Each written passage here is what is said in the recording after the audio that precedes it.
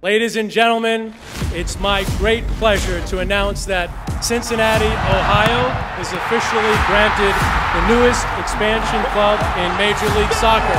Welcome, FC Cincinnati.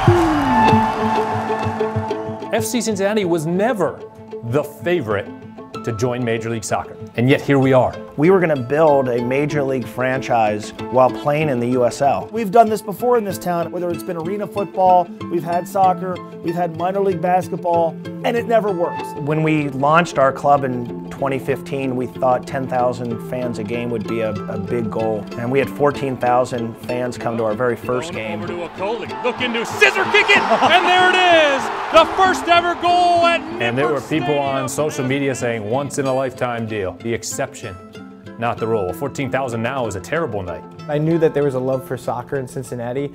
Um, I just wasn't expecting it to be this immense so quickly.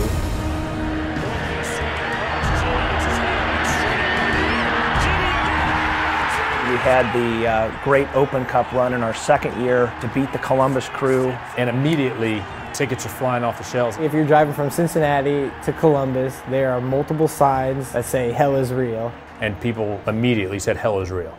And it just started to stick. At the end of the day, what's sports without rivalry? And the best way to create a rivalry is close proximity. I think it's one of the best uh, rivalry names ever.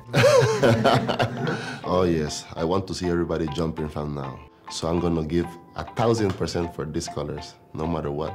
We get 25,000 when I was in Portland to know that the club was getting 20 to 30,000 averagely for a game. You know, it's, it's one thing to root for a team. It, it's another thing to join a movement. It really has blossomed into, I, I think, the best game atmosphere that we have in town.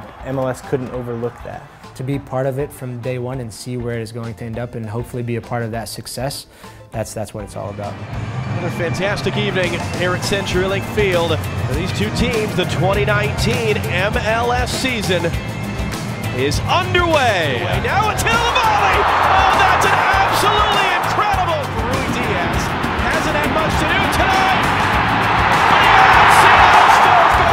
in your first game in the league is not indicative of what you're capable of accomplishing